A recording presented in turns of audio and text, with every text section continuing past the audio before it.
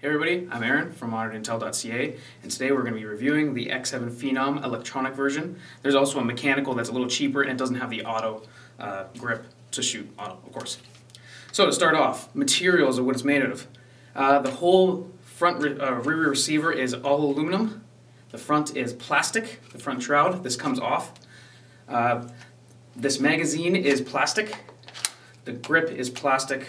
The ASA is metal and the rear butt cover is plastic as well.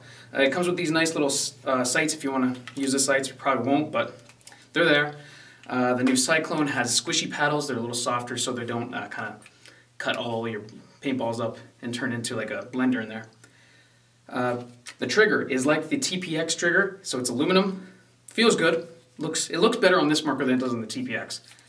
And uh, yeah, it's, it's pretty nice. It, it actually is heavier than you'd expect from like uh, a marker this size. When you look at it, it's like, ah, that's not that heavy. But when you pick it up, it's it's heavier, but it, it doesn't bog you down. It's it's fine. The weight's perfectly fine. It's just it's deceiving.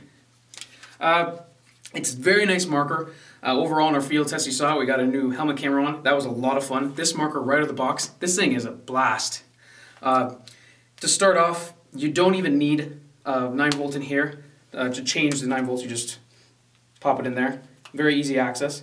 But you don't even need one. Like you can go buy this marker right out of the box and all you need is a tank. You can use CO2 or HPA. Use HPA though. And you can put it in single shot and you're good to go. Now, one thing about what we always say is we don't like batteries. But you know what? This is the gun. This is the marker that has proven that like you can do batteries properly in a paintball marker. And the reason is how you do it is that there's no power on switches. There's nothing like that. You have safety, single shot, and then full auto. The only time that the grip turns on and it starts using batteries is when you turn it into full auto mode. So you can go from single, single shot, no batteries, then you turn on the, the auto and you can actually probably see the LED blinking there. If you can't, it's blinking and it turns on there.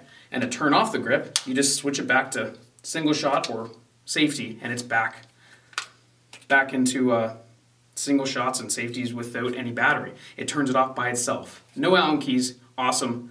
And if you run out of batteries in full auto, you just switch it over to single shot and you're still in the game. Where if you're using a TM7 or TM15, you're screwed. So that's the way to do batteries. That's awesome. Cyclone works right out of the box perfectly. It keeps up with the full auto on this marker, which is awesome like some markers you have to you get like a gun like the TM15 and it can shoot 15 balls per second or something, but you need to buy a hopper on top of that. This has already got everything you need except for the tank and the mask. Uh, so that's great. Now the style of it, it's, it's cool looking, but this mag, I don't get the point of this. It's like cheap play school plastic crap. And it's based on like the design. They actually made an aluminum mag for it. I don't get the point of this. Like at least with the TM series. They had the mag that you could open up and put a battery in there. This is useless though. I don't get the point of that. Uh, overall, it's a very nice marker.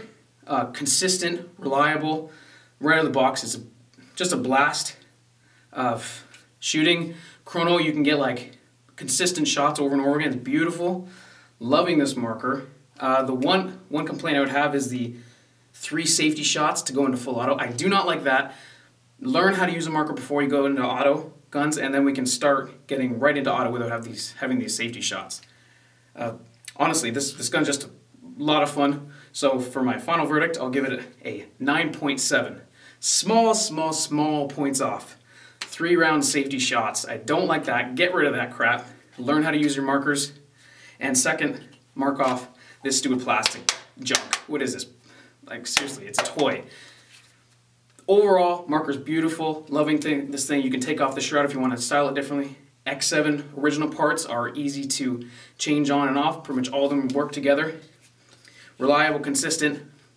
Go buy one of these, pick up an HPA tank uh, mask, and go out in the game and play. Full auto if you even wanted to. And you don't have to worry about batteries. That's it. Great job by Tippmann, X7 Phenom Electronic. Thanks a lot, guys.